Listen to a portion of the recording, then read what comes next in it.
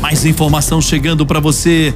Polícia Civil prende mais um homem envolvido na morte de Ronaldo César, na região da Fercal. Quem tem os detalhes é Danilo Moreira. Danilo, boa noite a você, bem-vindo. Oi Henrique, boa noite para você também, para todo mundo que está acompanhando a gente aqui no Cidade Alerta. Exatamente, Henrique, mais uma apreensão deste caso aí que chocou os moradores aqui do Distrito Federal, né? Pela brutalidade em que esse crime foi cometido. Esse caso, Henrique, aconteceu no dia 28 de janeiro, viu? A vítima foi identificada como Ronaldo César, de 36 anos. Segundo os familiares, ele estava em uma festa com amigos e também familiares quando decidiu sair para comprar bebidas.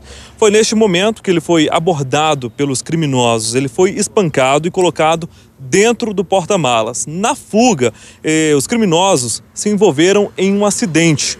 Para se livrar do carro, eles decidiram então colocar fogo no veículo com Ronaldo dentro do porta-malas ainda vivo.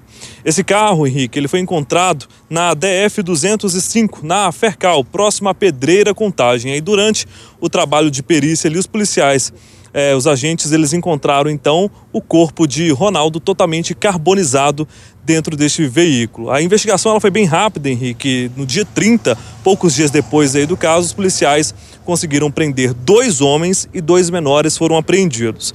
E nesta segunda-feira, o quinto suspeito, que a polícia já sabia que cinco pessoas tinham participado deste crime, hoje a polícia conseguiu apreender mais uma pessoa, um menor de 17 anos, que já é conhecido da polícia, viu, Henrique? Já tem várias passagens por outros crimes e agora apreendido por conta deste caso, viu? Nós conversamos, Danilo, com o delegado responsável por esse caso. Vamos ouvi-lo. Rapidamente identificamos e prendemos quatro dos cinco criminosos envolvidos na barbárie. As investigações prosseguiram, sendo identificado e apreendido o quinto infrator tratando-se de um indivíduo de 17 anos com envolvimento em outros crimes. A Vara da Infância e da Juventude expediu a ordem judicial, sendo o infrator apreendido.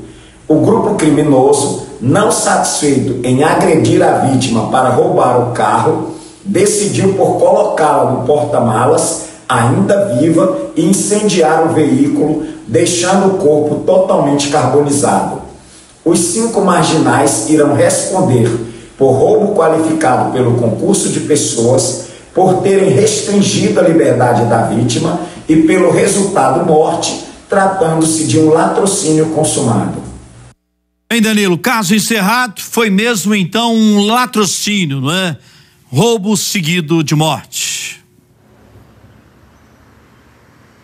Exatamente, Henrique. Foi um trabalho de investigação muito rápido da Polícia Civil aqui do Distrito Federal que conseguiu então localizar primeiro os quatro suspeitos, sendo dois maiores e depois dois menores, e a polícia então concluiu esse inquérito como latrocínio, que é o roubo seguido de morte, que foi o que aconteceu então com o Ronaldo. Esse caso chamou muito atenção, né, Henrique? Foi um caso que a polícia conseguiu trabalhar muito rápido para localizar esses suspeitos. E agora veio a apreensão de mais um menor, esse menor de 17 anos, com diversas passagens pela polícia já. É, chama atenção nesse caso também tamanha maldade dessas pessoas, muita, muita maldade. Ao vivaço, aqui no nosso cidade, Danilo Moreira.